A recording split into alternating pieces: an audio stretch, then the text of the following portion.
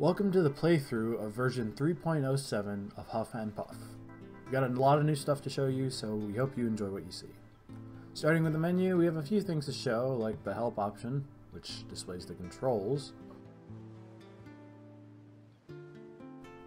and the options menu, where you can adjust the volume of the sound effects and music. You can also exit the application from here. Without further ado, let's get started. This is the world map. It's where players select what level they want to play. In future versions, players will be progressively unlock levels, and there may be alternate paths, but for now, all levels are unlocked and available from the start. Let's hop into the tutorial. These are a new feature, Cinematic Introductions. They give players an overview of what the level they've entered is like. This section of the attic is very short, with very few chances for the player to get hurt or lose progress. Before we get into that though, let's talk about the updated pause menu. From here, players can go back to the world map, adjust settings,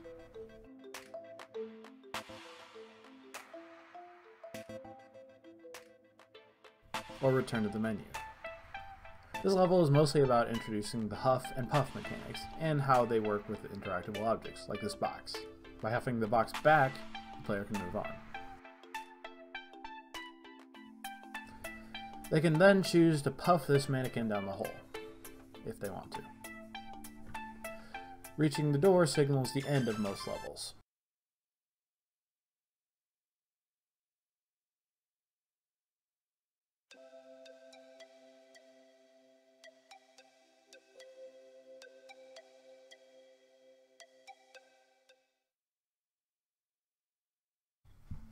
The next level, the attic, introduces players to the concept of enemies and focuses mostly on platforming.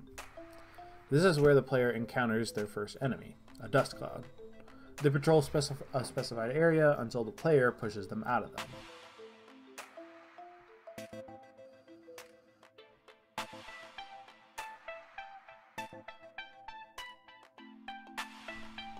Next, the player needs to platform up these series of nails.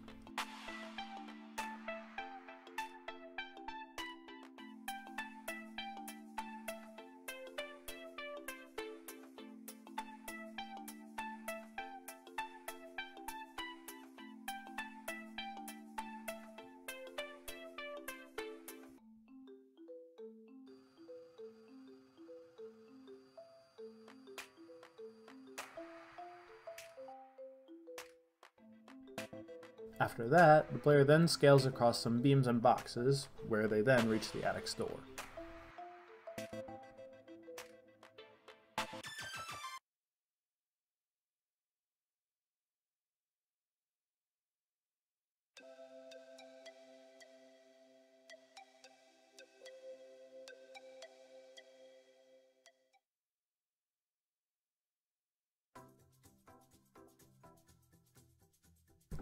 The hallway introduces the player to their first puzzle. Since they cannot cross the gap, players must move these end tables in place so that they stair step up to the next platform.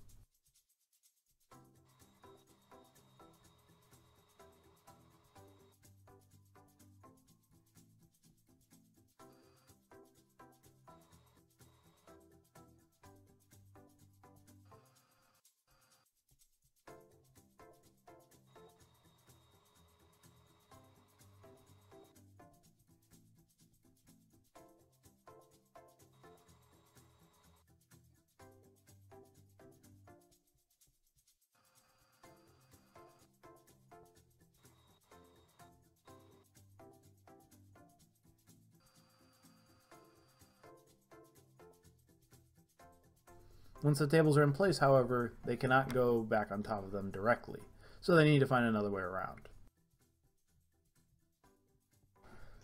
This is a vent. Vents are used to propel players upward to reach places they couldn't normally get to with their jumps.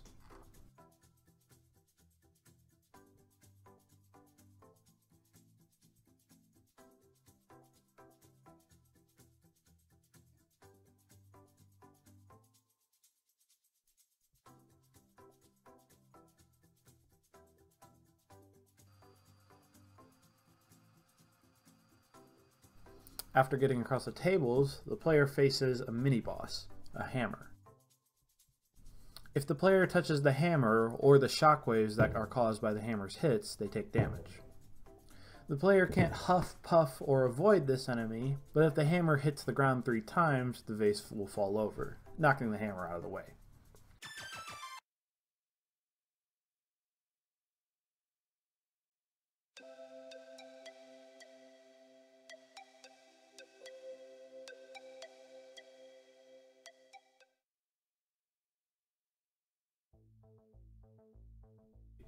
The bedroom focuses mostly on puzzles, but it introduces a new enemy, the perfume bottle. These will spray damaging perfume and then swivel to spray the other way. It's pretty easy to avoid, but right past this enemy is a trap. By tugging the rug, it causes the jewelry box on top of the ottoman to fall.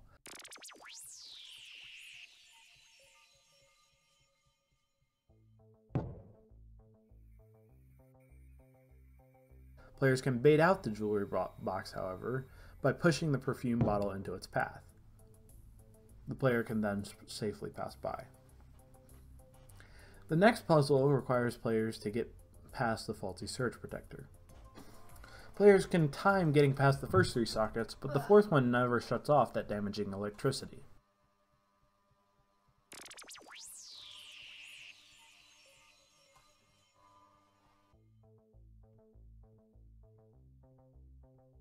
So, the player must drag this face over to the surge protector.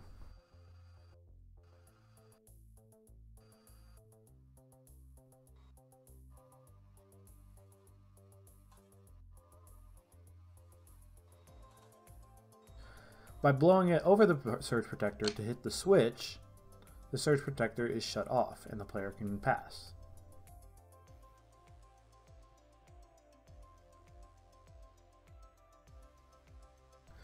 The final puzzle involves this pillow. If the player didn't push the pillow off the bed, the player would fall onto a, uh, fall off the bed and into a spike trap of thumbtacks. The pillow cushions the fall, saving the player.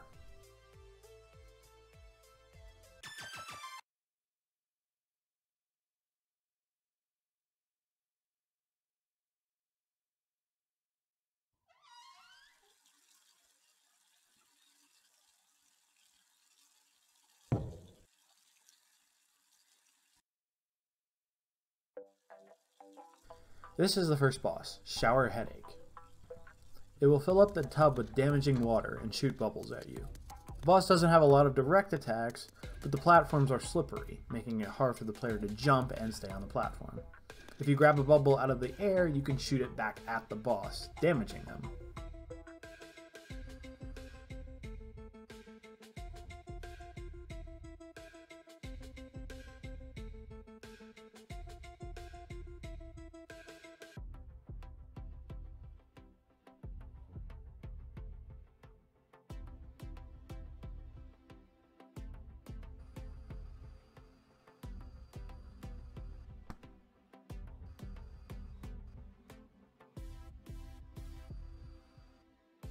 After shooting back three bubbles, the boss is defeated.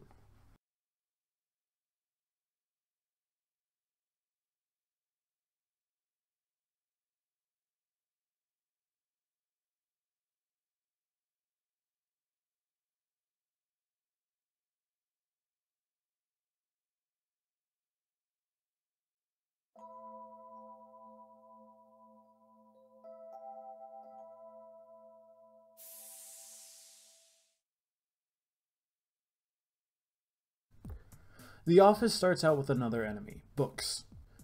The books will fly at players if they get too close, so players have to time their jumps carefully.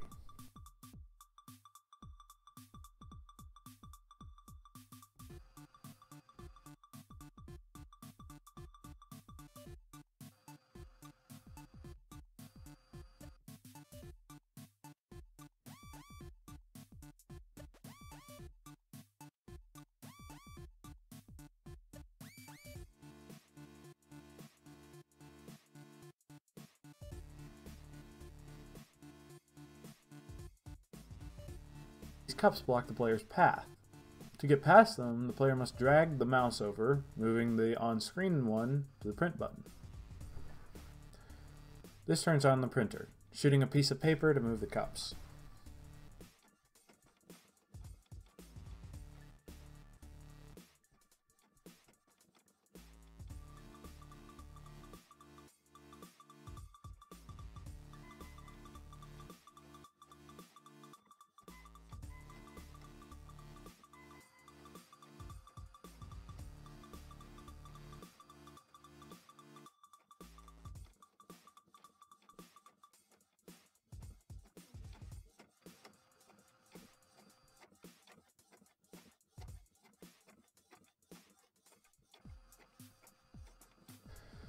After turning on the lights and crossing the printers, the player must platform across these bottles, avoiding the electrical sockets to reach the end.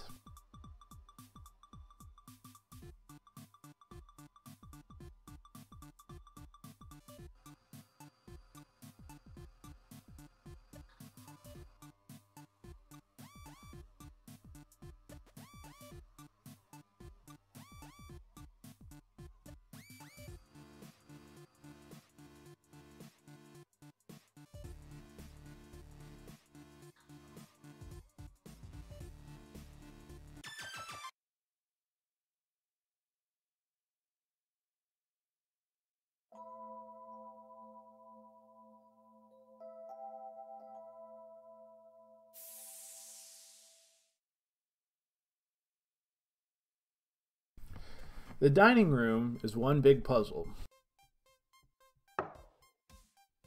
Silverware will constantly come down from the ceiling to stab at the player, so the player needs to act quick.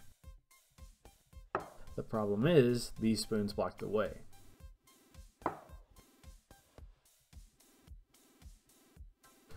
To get the enemies to stop attacking and the spoons to move, the player must move these plates and wine glasses around, trying to match them up with the ones on the other side of the table, over there.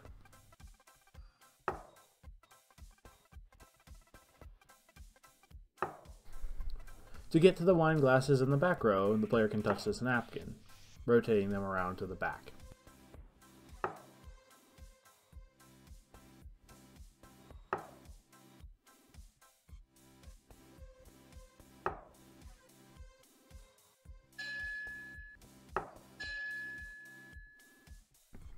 Once all dishes are correctly placed, the enemies stop attacking, and they let the player leave the room.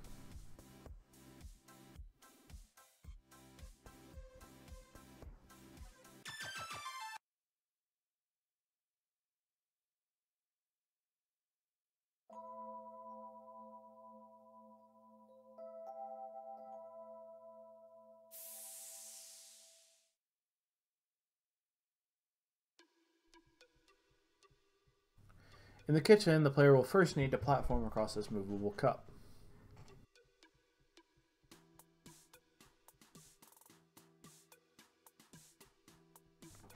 Once here, the player will need to drag the cup from before over to this area.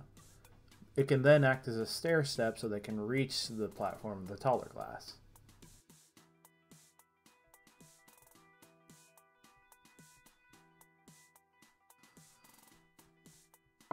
These silverware aren't like the ones in the dining room. They'll continually stab at the player.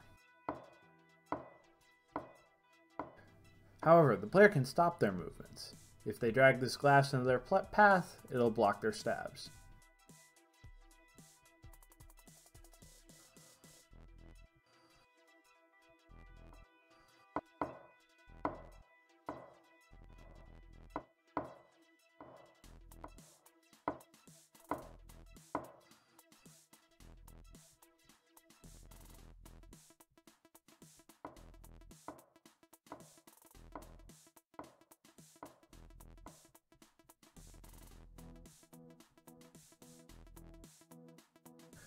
These damaging olives roll down at the player like barrels.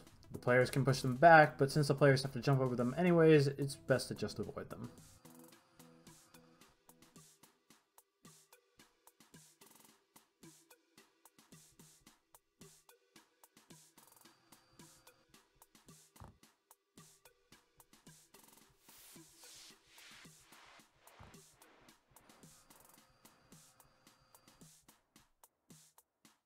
After that, the players bounce across these bar stools.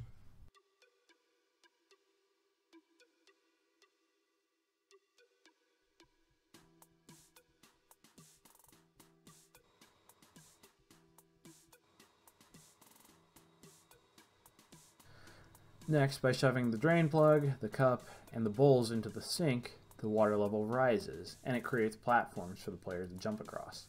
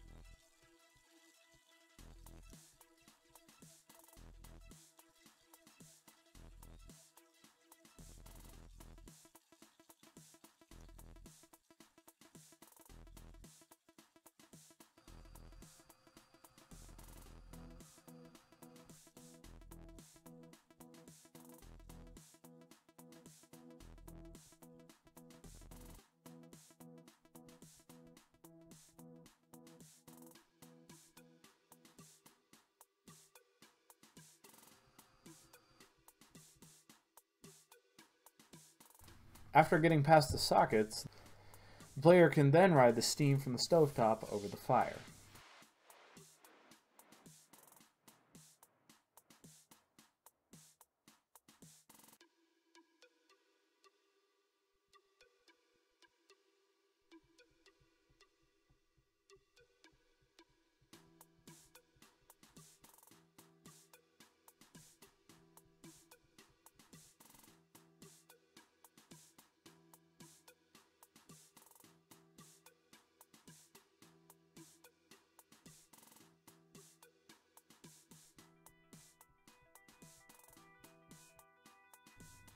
Finally, the player must blow this chili pepper enemy into the button on the back wall. This causes toast to pop out, and it will knock the pepper away.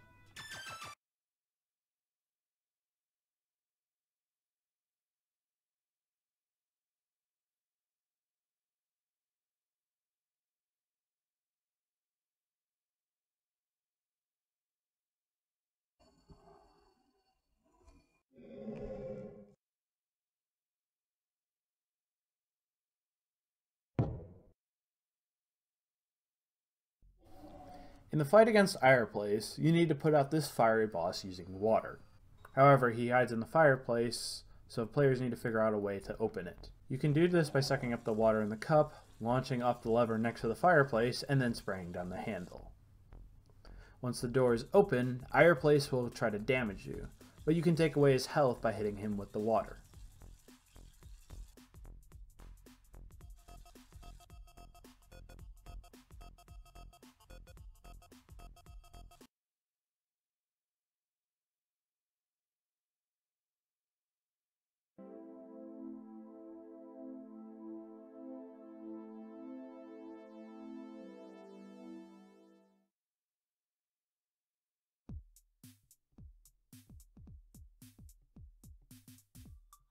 The garage is mostly just enemies and traps.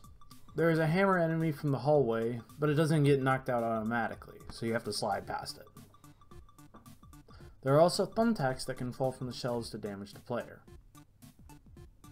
From there, the player just has to navigate to the door.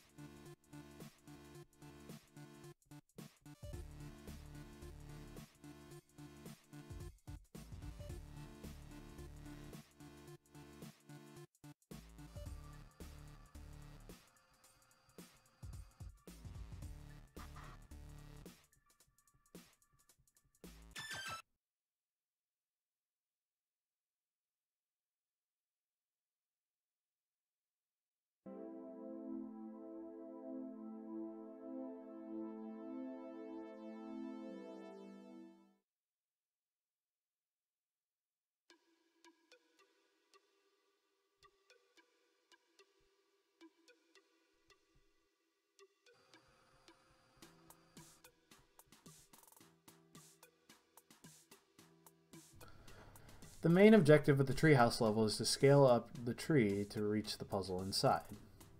The player does this by getting on a series of pulley-operated lifts that pull the player towards the top.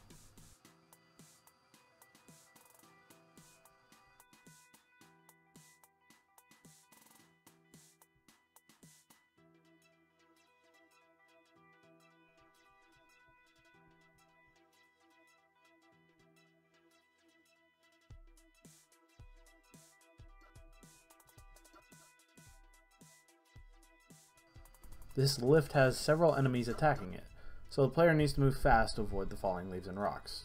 However, the lift won't move until the player pushes off the box that's weighing it down.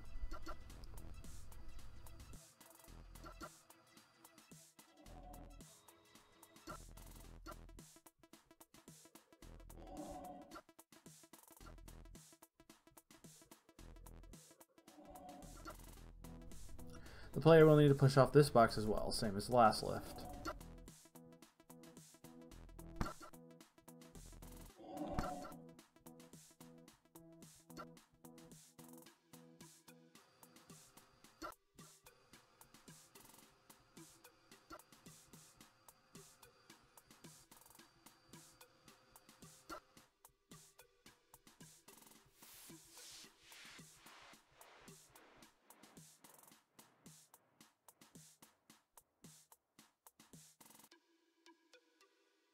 Inside the treehouse is a light beam puzzle. By huffing or puffing the prisms, the light beam will reflect across the room. Putting all the prisms in place opens the door.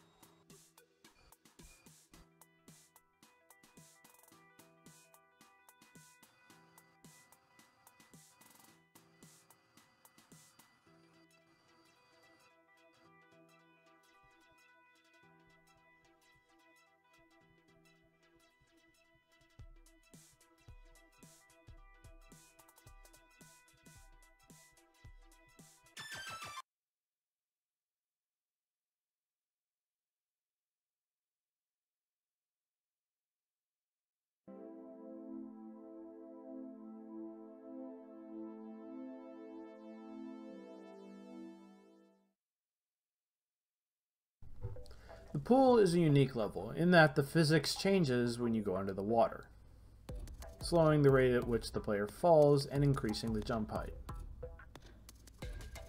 Collecting these rings is the main objective of this level. Collecting all five removes the net blocking the player's path at the end of the level. These torpedo enemies come in two types, green, which moves in a straight line, and yellow, which homes in on the player. Entering this tube takes the player back to the surface, which is necessary to get a ring. By jumping off this diving board, the player gets a super jump and can reach the ring high in the sky.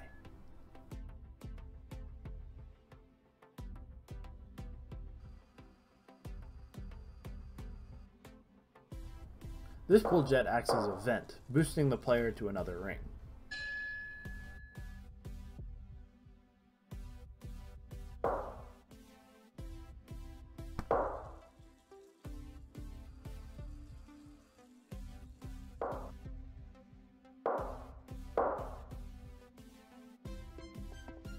These pipes shoot more torpedoes, making collecting this ring a bit challenging. The final ring is guarded by this pool cleaner. If it hits the player once, they'll lose all their health.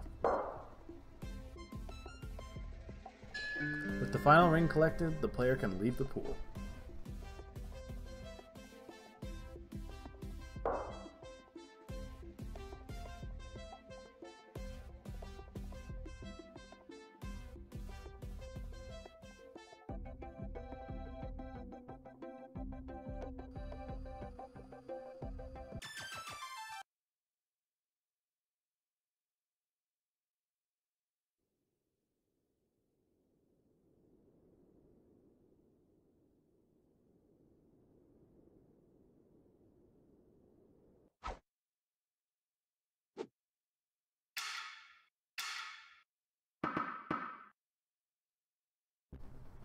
The final boss, the Terror Racket, jumps around the court trying to damage the player. while ball feeders shoot damaging tennis balls. As the fight progresses, the racket increases its attack range, slamming down on the ground and sliding into the net. Players can beat this boss by grabbing the tennis balls out of the air and shooting them at the racket.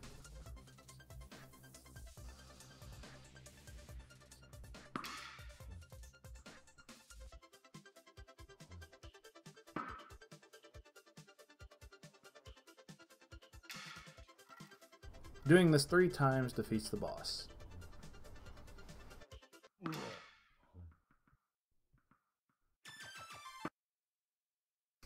And that was all for right now. We hope you enjoyed what you see. The next time you see an update from us, we should be releasing the alpha version of the game, so look forward to that. But until then, thanks for watching.